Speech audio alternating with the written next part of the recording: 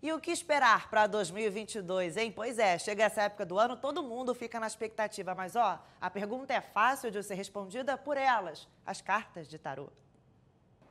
É clichê, mas é real. Quando chega essa época, fica todo mundo se perguntando o que esperar para o novo ano que se aproxima. Eu espero muita saúde, paz para todos, né? Não à toa, Viviane procurou Roberto, que trabalha com tarô indígena. Pela primeira vez, uma previsão e uma preparação para encarar o que vem pela frente. Me preparar para o próximo ano, né?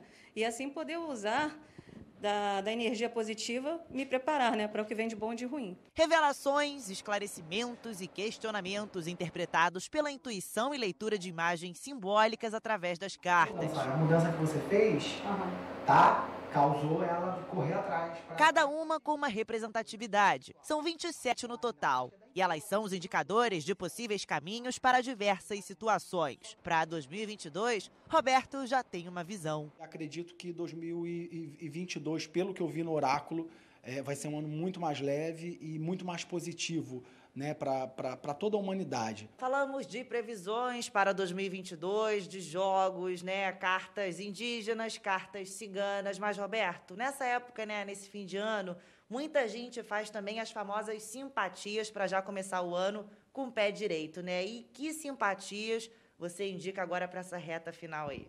Olha, eu acho que é, o alecrim é a erva ideal para 2022 e 22 é uma erva que simboliza felicidade, que simboliza alegria. E você, já pensou qual dessas cartas vai abrir os caminhos para você?